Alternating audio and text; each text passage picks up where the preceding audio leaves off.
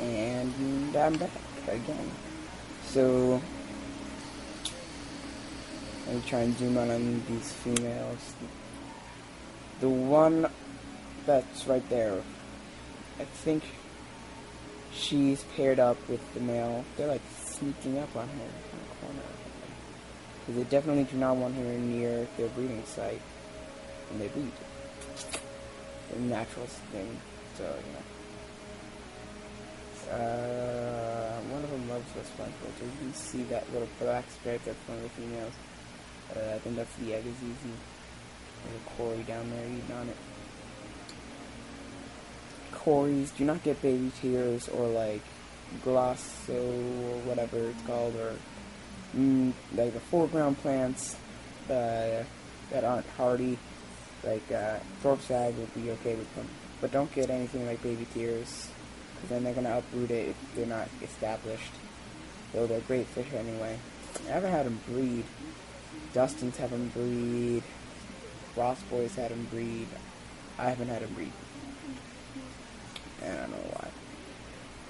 I've fed them lost life stuff, frozen stuff. I don't know. Speaking of frozen stuff, after this video, tomorrow or tonight, I'm gonna get started on the Back to the Basics videos. I know Ted Judy's already doing back to the or basic stuff, but I just want to even experienced people have to watch this. Back to the basics.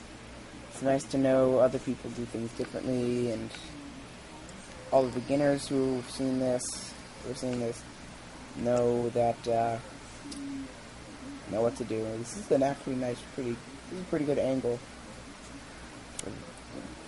I took a picture. It's my uh, intro from the camera. Let me try and zoom in on a female. Female. Actually, the same image. Oh, I'll zoom in on lemon tetras. Lemon tetras. Don't remember the scientific name.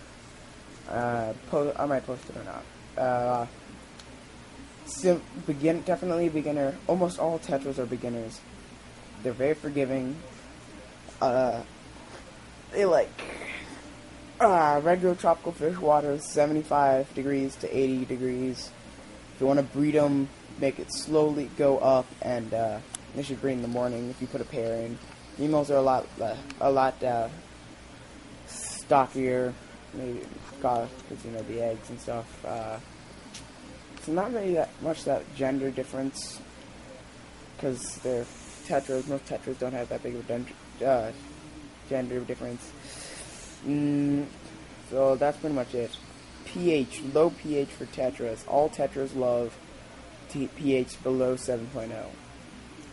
Uh, including the Neon Tetra, true classic. Uh, same, pretty much same care as the Lemon Tetras. Uh, they get smaller, so make sure you don't keep them with anything bigger than an angelfish. Angelfish might actually eat them if they get big enough, but nothing bigger than a medium-sized angelfish, because then they'll get eaten. Like, don't put them with uh, don't put them with firemouths that you know are gonna get too big. Like, I put them with my grandma's firemouths, they got eaten or died and got eaten. I don't know. I don't really care. I'll just tell her to get some angels or something. Um, uh, what else? What else? What else? What else? Tetras. Breeding is simple, but kind of annoying because they're gonna eat their eggs.